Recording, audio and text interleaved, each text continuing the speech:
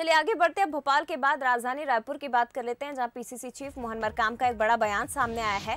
निकाय चुनाव में बागी प्रत्याशियों को लेकर उन्होंने ये बयान दिया, कहा कि ज़्यादातर प्रत्याशियों ने नाम वापस ले लिए हैं, बाकी को भी 20 तारीख तक मना लेंगे। ये दावा उनकी तरफ़ से किया गया है। हालाँकि उन्होंने ये भी कहा कि जो नहीं मानेंगे, उनके लिए पार्टी के पास और भी विकल्प खुले हुए हैं।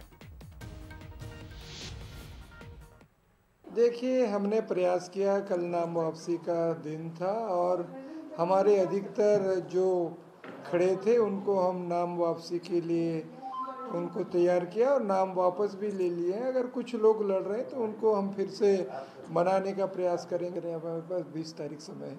बीस तारीख तक हम मनाने का प्रयास करेंगे।